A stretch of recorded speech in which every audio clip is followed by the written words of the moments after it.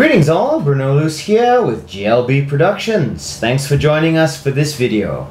Today, I'm going to show you how to clean a dirty mixing console.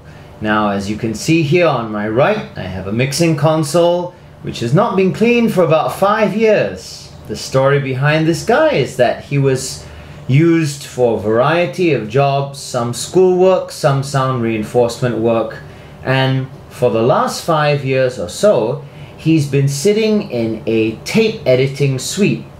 Basically, uh, it's a situation where they're transferring old cassette tapes onto digital media, and this mixer was used as the interface between the cassette player and the digital recorder. Rather than plug the cassette player directly into the recorder. It was run through the mixer mainly for monitoring purposes rather than use the headphone output on the cassette deck itself.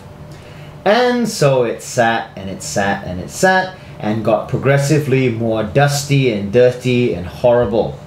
Today, we're going to clean it and make it look like new.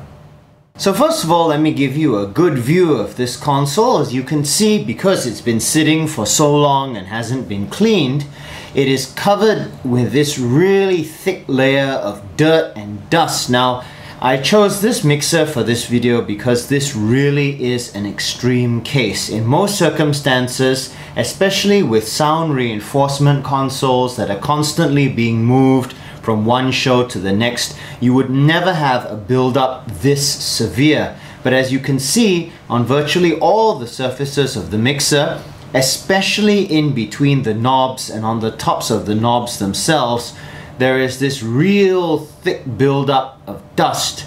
This is not good for the mixer because dust attracts moisture and if it finds its way into the slots, for example, between the faders, it can actually cause noise. It can cause crackling or popping noises when the faders are moved because that dust and dirt uh, deposits itself on all the contact points. And this can be the cause of dropouts. It can also be the cause of intermittent connections.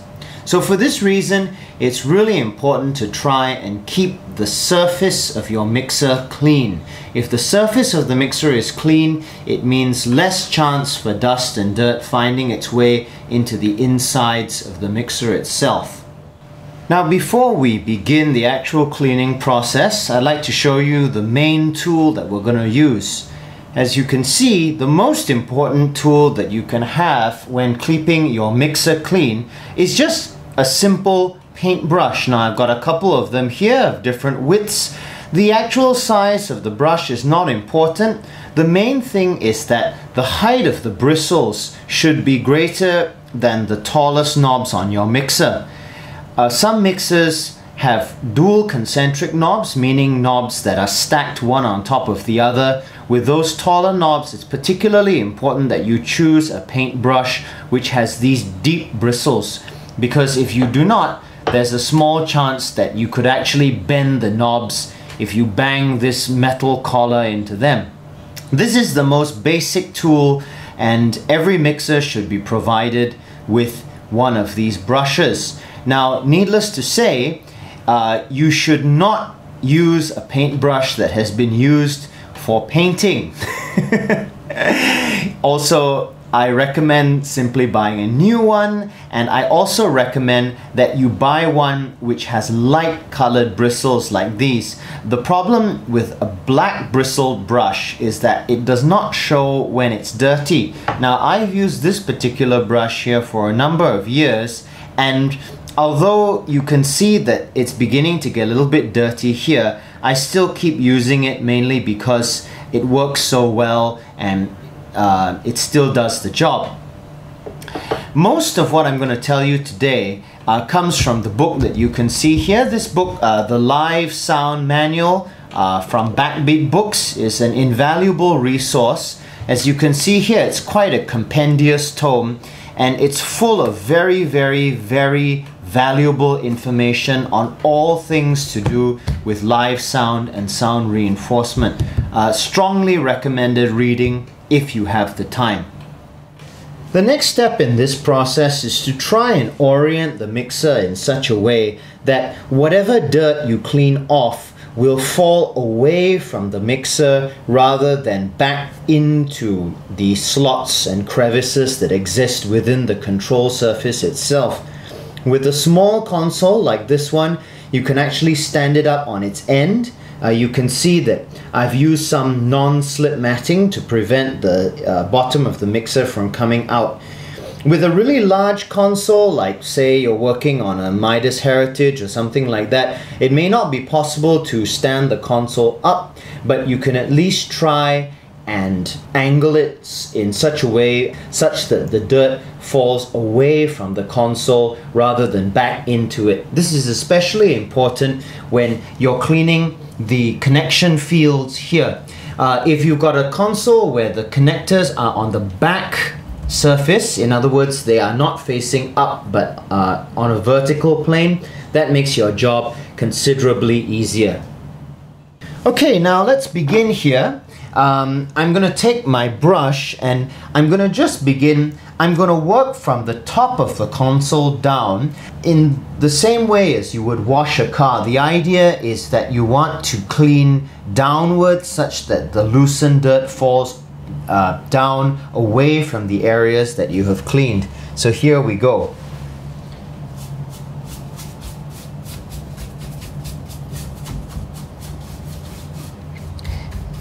Now, as you work, it's important to not just to, to sort of um, not try and do too much at one time. As you can see, I'm concentrating on the top right hand corner and I'm using both vertical as well as horizontal strokes. The idea being to get one section as clean as possible before moving on to the next. The camera does not pick this up too well, but using my eyes I can already see that there's a substantial difference between this section and this section over here. Right, now we'll do this part of the console. When cleaning jack fields, it's particularly important that you go in both directions because the dust will accumulate uh, both the dust is best removed with these two directions of cleaning take your time with this. Um, it's good if you set aside, you know, a day, a month or so to do regular dusting on all your consoles. Don't wait until they look like this. Okay. So you can see that now this part of the console is relatively dust free. I can run my finger over it and it's not too bad. Now this is not as clean as it could be, but it's definitely a lot better than this area down here. Moving the camera down, we'll begin to dust the, uh, the main channel section here. Now, when you do this, it's particularly important that you take your time and not rush. The reason being that you not only want to get in between the knobs, but you also want to try as far as you can to angle the brush slightly such that you get underneath the edges of the knobs. Once again, uh, remembering to work from top to bottom and to use both horizontal as well as vertical strokes. You can see that there are hairs falling out of my brush, that's okay. Working over here. Now an even better approach if you can manage it is to actually turn the console on its side and the reason for that is that any dust that comes off will fall away from these fader slots. It's really important to try and keep dust and dirt out of these slots because if it contaminates the fader track, you will have crackling and all kinds of um, potential electricity issues there.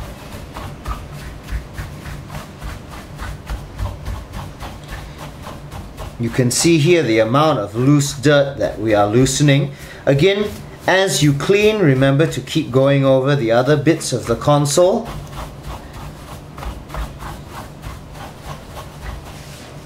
Just zoom in here to give you an idea of just you know how incredibly dirty this mixer is. It looks like it was unearthed together with Rip Van Winkle.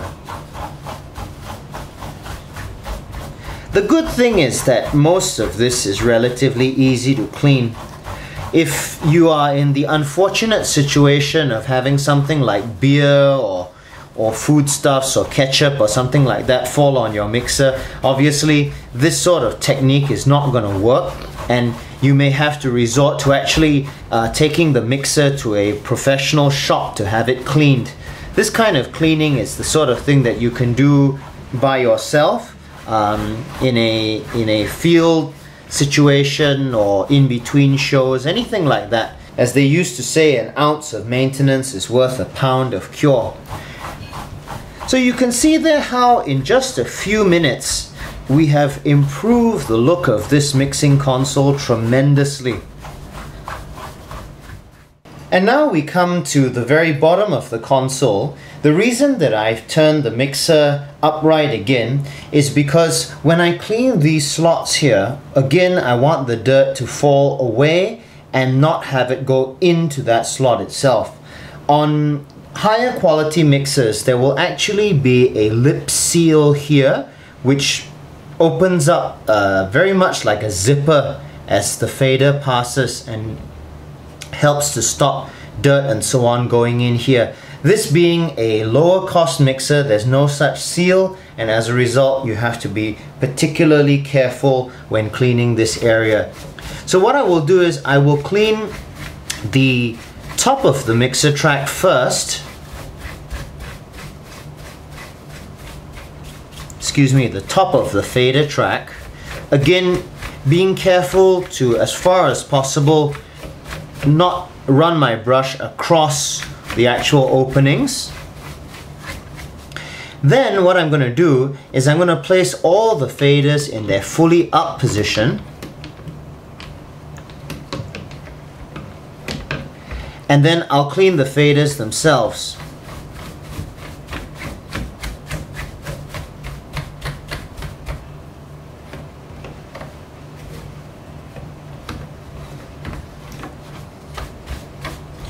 Once that's done, I can clean the remainder of the mixer.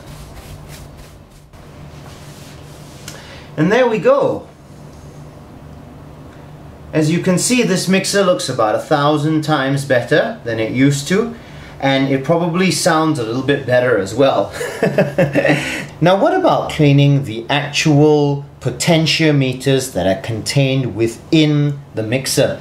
Some people use spray cleaners but the book that I showed you advises against that simply because spray cleaners can actually dissolve the contact material as well as the lubrication within the potentiometer and then you'll have a problem worse than the one that you started with.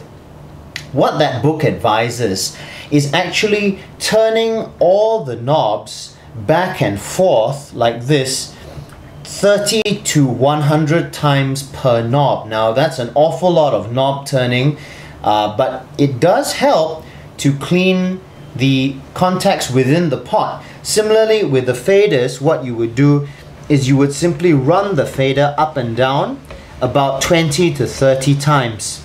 And this has the effect of wiping dirt off of the contact track within there. Obviously, with a digital board, with a VCA board, the audio does not pass through the fader, so this is not so critical as with a normal analog board like this. In terms of finding who's going to do all of that knob twisting for you, well, you're on your own on that one. Now one of the more unusual pieces of advice that the book Live Sound Manual has on cleaning mixers is the use of Armor All which is, as you can see, actually a car care product for cleaning pro audio equipment.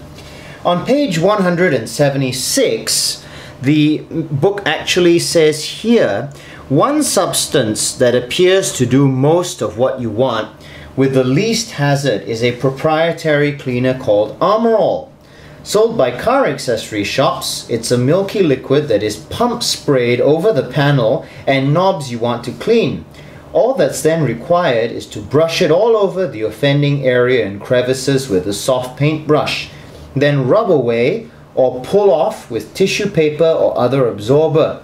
This process leaves largely polished surfaces that are also anti-static treated. Now, I personally am very leery of spraying anything onto the control surface of a mixer. In my opinion, there's just too much chance of it finding its way into the internal circuitry and turning it into a big sticky gummy mess. What I would suggest is actually spraying the Armor All onto a microfiber cloth like this one and then going over the surface of the mixer like that. I can confirm that Armor All does clean plastic surfaces extremely well and it's particularly suitable for cleaning areas of the mixer that do not have connectors. So if we just demonstrate on this area here, remember, spray the Armor All onto a cloth. Do not spray it directly onto the surface of the console and then just wipe. Now again, with this approach you will have issues getting it in between the knobs and so on. That's why a, uh, a deep pile microfiber cloth like this is very, very helpful. Again, you know, a mixer doesn't have to look good to sound good, but especially if you do a lot of corporate work, the way your gear looks unfortunately does make difference. Now, if I zoom in on this area here, again, it's not so clear on the camera, but it does look an awful lot better. It actually looks almost brand new. Let's try an area which has some knobs and faders like this one down here. Once again, I'm gonna move to a new area of the cloth. Remembering, spray the Armor All on the cloth, not directly onto the mixer, and then go to town.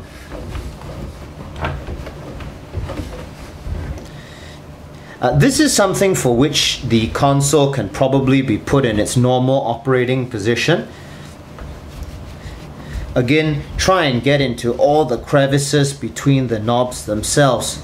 If you really, really want to be anal with this sort of thing, you can actually remove the knobs as you can see, removing the knobs makes it much, much easier to get your fingers in between them.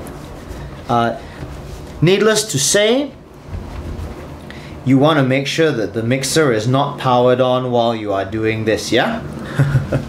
Common sense, really. Alright.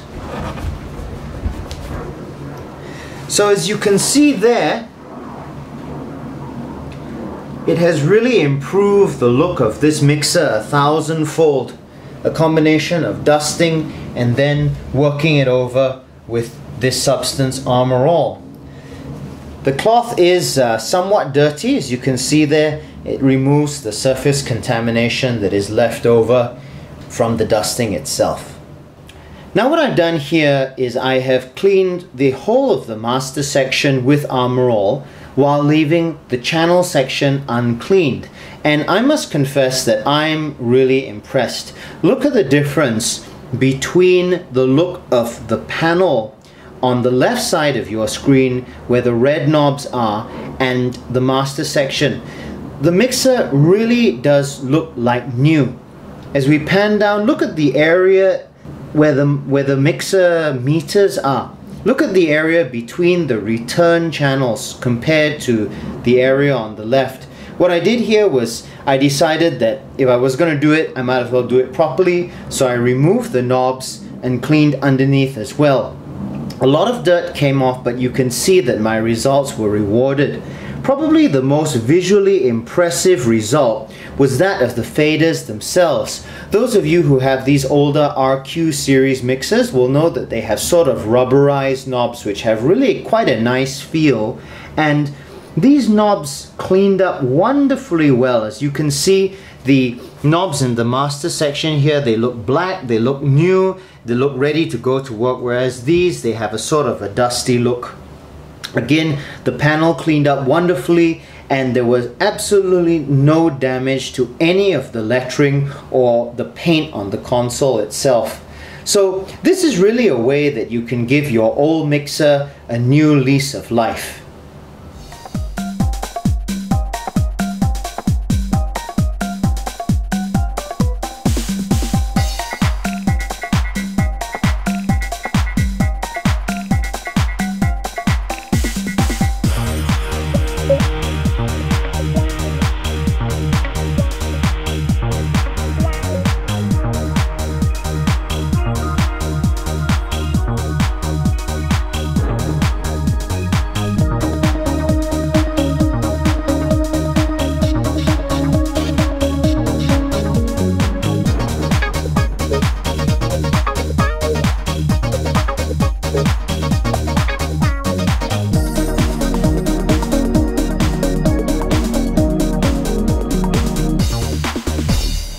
So there we are, our finished product here. What was originally looking like something that had been dug up from my backyard to something that could almost pass for a brand new mixer. All you need is a paintbrush, a clean paintbrush remember, microfiber cloth and just a little bit of car care product. So that's how you clean a dirty mixing console. Obviously remember that if your mixing console is extremely dirty, such as a mixing console that's been contaminated with food, water, beer, that sort of thing, it's always best to bring it to a professional for a thorough evaluation and professional cleaning before you use it on the road. But for just day-to-day dust, dirt, grime, this system I find works very, very well. And to prove that I did in fact do the cleaning myself, there's our cloth. You can see all of that is what came off from the mixer that you see in front of you. What about you? What ways do you clean your mixer? Do you have techniques that I didn't cover here? If so, leave them in the comments below. I'd love to hear from you. Till the next time, this is Bruno Luce from GLB Productions. Take care, and I'll see you soon.